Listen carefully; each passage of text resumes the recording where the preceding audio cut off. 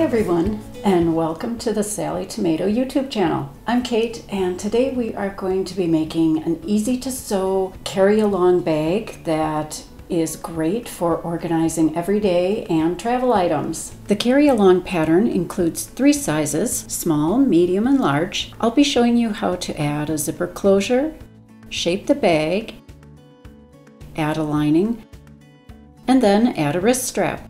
Try using our cork fabric, faux leather, and faux fur to make each bag a little bit of luxury. Jamie, Jess's business partner, designed these bags for all sorts of uses, and I'm sure after you've made one, you'll find you'll need more than one. Be sure to purchase the pattern before beginning this class. The pattern and your supplies can be purchased from our website or request them at your local quilt shop. We encourage you to shop local whenever you can. I'm sure you're ready to get started. But do remember, you can always pause the video if you need a little extra time to review or for a little extra stitching time as well. And be sure to follow your pattern. It's written and illustrated, so it's very easy to follow. And now it's time to gather some supplies, your fabrics, and I'll see you at the work table. Before beginning, please review the recommended fabrics on the back of the pattern cover and the pattern corrections page on our website for any updates. You'll need a main fabric and lining fabric. You certainly could add fleece batting or foam, but that's optional and it depends on the weight of the fabric and also if you like a softer or firmer carry along. I'll be adding the fleece just to give my bag a little more support. And be sure to follow your pattern for the cutting instructions. There are three different sizes, so you may find it helpful to mark the different sizes in your pattern with different colors of highlighter, pen, or pencil for easy reference. From the main fabric, cut out the main panel strap connectors, strap, and zipper tabs. You'll also cut out the lining and fleece panels, and then don't forget your hardware and zipper that you'll need. Also, if you'd like, you can certainly add a handmade label. It gives a nice touch to your finished bag. Let's begin with preparing the main panels. Now this first step is optional if you've decided to add foam or fleece to your bag. With right sides up, position one main panel over each coordinating fleece or foam piece and align all the edges. You can certainly use basting spray or sewing clips to hold the layers together while sewing. Now at the sewing machine, top stitch the main fabric to the batting or foam along all the edges. Refer to your pattern for the recommended seam allowances and stitch lengths for the piecing and top stitching. After your top stitching is completed along all four edges of each main piece, then you'll mark just the bottom corners and this is referring to the measurements in your pattern and then you'll cut out following those lines. So you'll have two corners that are cut out. After you've cut out the bottom corners of your two main pieces, remember to also cut out the bottom corners of each of the lining pieces as well. Now we're going to move on to the zipper and with wrong sides together, fold each zipper tab in half and then we're simply going to place the zipper tab over the end of the zipper and hold in place with a clip. Make sure the zipper tape end is right into the fold of the zipper tab and I'll do the same for the opposite end and then we'll be heading to the sewing machine to top stitch along the raw edge to hold the tabs encasing the ends of the zipper.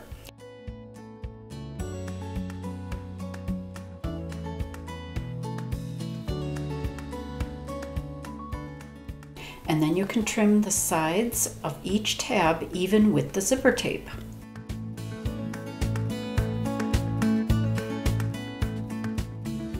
This next step is really quick and that is taking our strap connector and folding it in half matching the long edges and then with just a sewing clip or two I'm ready to go to the sewing machine to do a little top stitching. If after folding your strap connector in half and you're preparing for top stitching if you decide that it's really feeling too bulky you may certainly unfold it and then cut your strap connector in half lengthwise and then top stitch just the one narrower strap connector connector in one layer and that will reduce the bulk and make assembly of the bag much easier.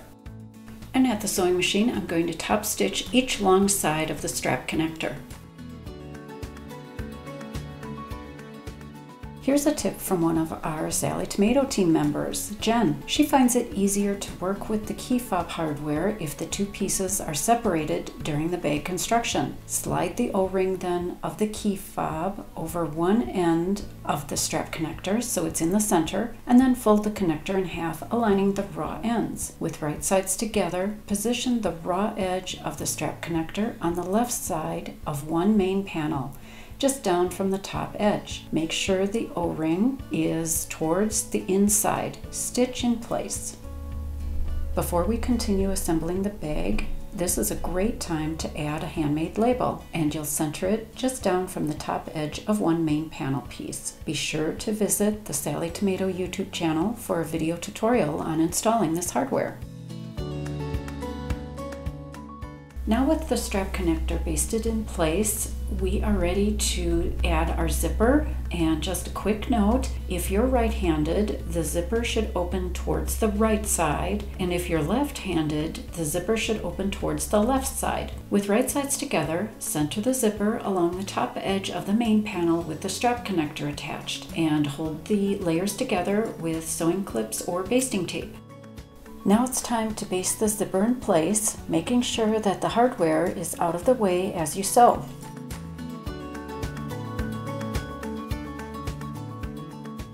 With the zipper basted in place, we're now ready to position the lining over the zipper, aligning all the edges. This would be right sides together. And then I'm just going to add a few sewing clips to the top zipper tape edge and then we'll go back to the sewing machine to stitch this in place.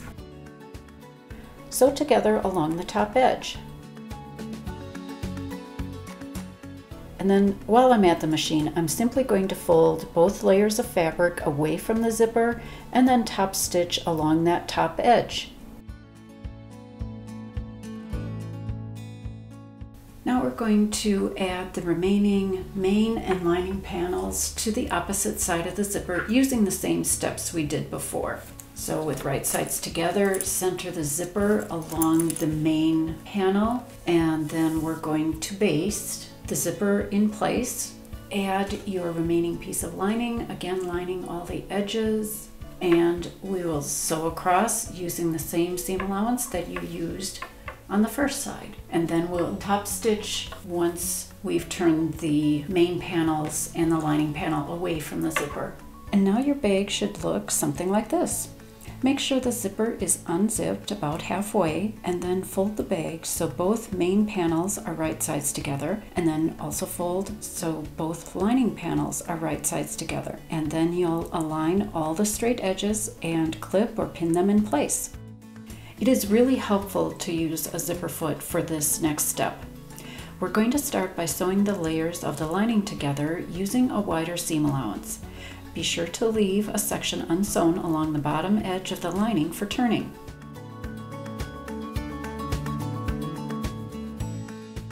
Then sew the layers of the main fabric together using the suggested narrower seam allowance. Now the larger seam allowance for the lining helps the lining fit better inside your bag and do be careful to not sew through the zipper tabs. While I'm at the sewing machine, I'm going to create a boxed corner in each bottom corner of the main fabric and lining fabric. So I'll show you on one corner here. With right sides together, match the side seam and the bottom seam, and then flatten to align the raw edges. Sew the main fabric corners with the narrow seam allowance and the lining corners with the wider seam allowance. And make sure you catch all the layers in the seam allowance. Sometimes when it's folded you can miss a little corner, so double check that. Trim the excess fabric from each corner to reduce the bulk. You'll also trim the lining seam allowance a little bit, again reducing the bulk and making it neater inside your bag.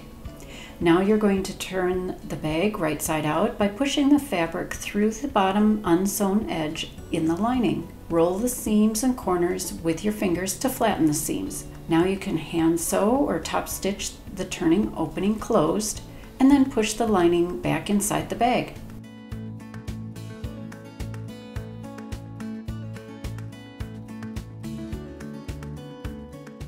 And we're going to move on to making the strap. I'm going to show you two options depending on the thickness of your main fabric. Following the instructions in your pattern, with wrong sides together, fold the long sides to the center and then fold in half again, wrong sides together, and hold with sewing clips. And then you'll top stitch along each length side. And this is, technique is great for lighter weight fabrics.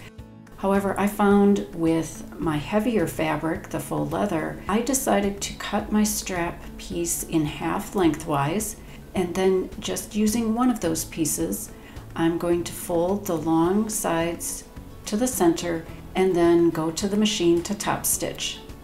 And now we can top stitch the long edges with a slightly wider allowance and then the strap is ready for the hardware. Fold the strap in half, matching the short ends and insert the short ends in between the key fob hardware. And be sure to check out our YouTube channel for Jess's helpful video tutorial for extra tips. All you need to do now is reattach the hardware and you are ready to go. I think you're going to find lots of uses for each size, from hobby or crafting supplies to loose change and charging cords. Are you ready to make more carry-alongs? They make great gifts, so be sure to stock up on your fabrics, supplies, zippers, and hardware. If you enjoyed this mini pattern, join our monthly mini club for only $5 a month and receive a new mini pattern in your mailbox or inbox each month. These mini patterns are designed for all skill levels and are intended to be a quick sew project. Most patterns will include a video tutorial on our YouTube channel. We'd love to see how your carry along looks. Share photos of your completed project using hashtag SallieTomato and hashtag cork carry along. If you found this tutorial helpful, give it a thumbs up, leave a comment, and subscribe. We always enjoy hearing from you. And so, all of us at Sallie Tomato would like to thank Jamie for his great pattern and design. And thank you for sewing with me today. Have a great making day.